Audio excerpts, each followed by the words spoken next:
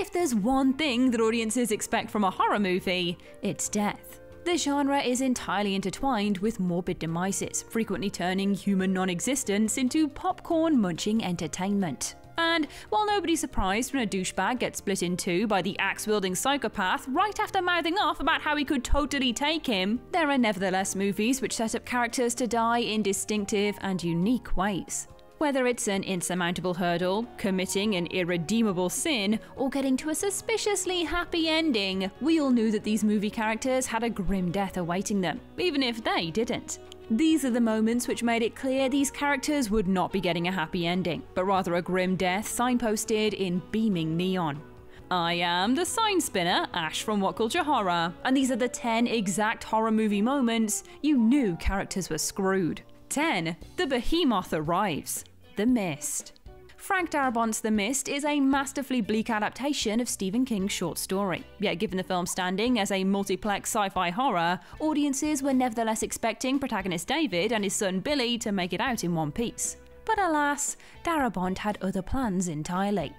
Near the end of the movie, moments after discovering his wife dead and his house destroyed, David and a small group of fellow survivors drive their car through the mist, only to come across a gigantic Lovecraftian monster.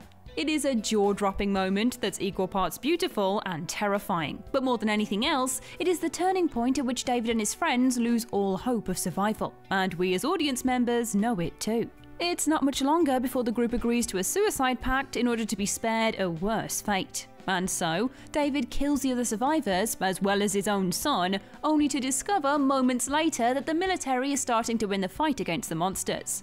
Brutal. David may have technically survived the events of the movie, but he was spiritually defeated in the most thorough way possible. And let's be honest, does anyone really think he lived much longer after the end credits rolled? Screwed entirely. 9. Burke tries to kill Ripley and Newt. Aliens. Aliens' Burke is one of the most detestable characters in the horror genre, an almost impossibly sleazy Weyland-Yutani executive who joins Ripley and the Colonial Marines on their mission to Hadley's Hope, albeit with nefariously ulterior motives in mind. Granted, Burke being a weaselly stuffed shirt was probably enough to seal his fate here, but he guaranteed beyond all doubt he was going to end up on a xenomorph's dinner plate when he attempted to smuggle a specimen back through quarantine by locking Ripley and Newt in a room with two facehuggers. Though the Marines make every effort to rub out Burke themselves, he soon finds himself cornered and presumably killed by a xenomorph.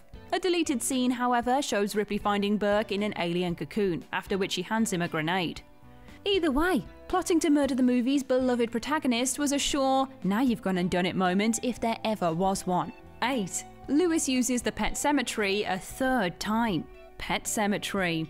Few horror movie protagonists have been hoisted by their own petard quite as successfully as Louis Creed, the hero of the 1989 Pet Sematary adaptation. After Louis uses the ancient burial ground behind his house to revive the family's dead cat, albeit as an empty, zombie like husk, his son Gage is killed in a car accident. A grieving Louis then uses the burial ground again in order to bring Gage back from the dead, against the advice of local eccentric Judd, reanimated as a murderous shadow of his former self. Near the film's end, Gage kills Judd and Louis's wife, Rachel, prompting Louis to kill the resurrected version of his son. And while that probably should be the end of the story, Louis decides to use the pet cemetery one more time in an attempt to bring Rachel back to life. To the surprise of absolutely no one, the final scene of the movie sees Louis reunited with a grotesque revenant version of his wife, who promptly grabs a knife and presumably stabs him to death as the film ends. You can maybe forgive the guy for bringing his dead son back while in the throes of grief, but repeating that terrible life decision confirmed he was destined for the chopping block. 7. David tries to shoot Sean. Shaun of the Dead. As much as Edgar Wright's Shaun of the Dead isn't a massively serious zombie film, it is nevertheless a genuinely tense and character driven entry into the genre. And while much of the film has an anything goes approach, by far the least likable of the central group is David, the pretentious, miserable man with clear designs on Shaun's partner Liz. But David goes past the point of redemption late in the movie, when after being socked in the face by Shaun, he responds by trying to shoot Shaun dead, much to the group's horror. Barely a minute later, then, David gets his well earned comeuppance as zombies break into the pub and quickly tear him to pieces. Apparently, Wright originally had David apologise for pulling a gun on Shaun, but ultimately decided it was scarier for his death to come suddenly without any catharsis. And the end result is perhaps the most satisfying death in the entire movie. 6. Carter drops an N bomb, the final destination. Though the majority of the characters in the Final Destination franchise are meat shields who exist solely to be destroyed in a myriad of creatively gnarly ways, the fourth movie's racist tow truck driver, Carter Daniels, earned himself the primest of prime spots on Death's list. Just minutes after the opening speedway accident, Carter drops an N bomb whilst addressing fellow survivor George Lanter, in turn ensuring he won't be making it to the end of the movie, or really anywhere near. Hilariously, Death wastes no time at all giving the racist a suitably grisly demise, as in the film's very next scene, his attempt to burn a cross on George's lawn is scuppered when he gets dragged off, set on fire, and exploded by his own runaway tow truck. Couldn't have happened to a nicer guy, clearly. Even accepting the basement low expectations audiences have for the survival prospects of Final Destination characters, Carter basically committed an act of cinematic suicide by outing himself as a weapons grade asshole. 5. The bullies attack Oscar in the pool. Let the right one in. Let the Right One In is one of the greatest vampire films of all time, focused on the story of Oscar, a bullied 12 year old boy who makes friends with Eli, a vampire child. A group of bullies torment Oscar over the course of the film, and though with Eli's encouragement he fights back against them, things come to a dangerous head at the very end of the movie, as the bullies make one more strike against him. At the school swimming pool, the leader of the gang threatens to stab Oscar's eye out if he doesn't hold his breath underwater for three minutes. Even though Eli supposedly took leave of Oscar the previous evening, we as audience members know she's about to return in a major and majorly violent way.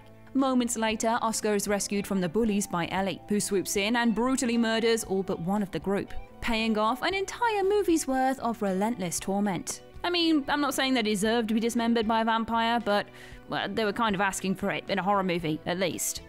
4. Marcus returns to the farmhouse. The Last Exorcism. This criminally underappreciated found footage film follows Cotton Marcus, a reverend who makes a living performing fake exorcisms on supposedly possessed people. He spends most of the movie investigating the case of timid farm girl Nell Sweetzer, whose father believes she is possessed by Satan.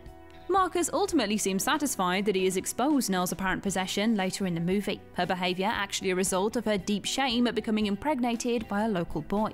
But just as the film appears to wrap up, Marcus learns that the apparent father of the child is gay and barely knows Nell, prompting Marcus and the film crew to take a last minute detour back to the farmhouse where they discover a satanic birthing ritual taking place.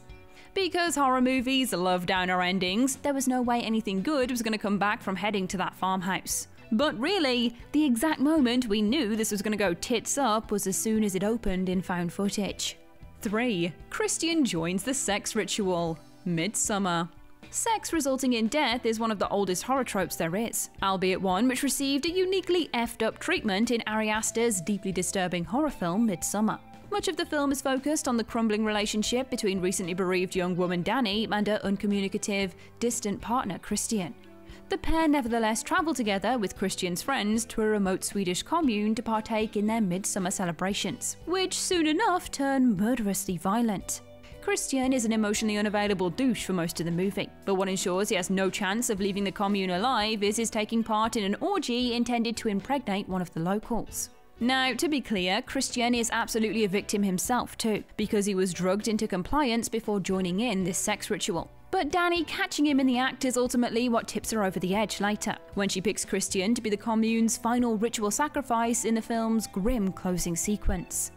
2. Don abandons his wife. 28 weeks later.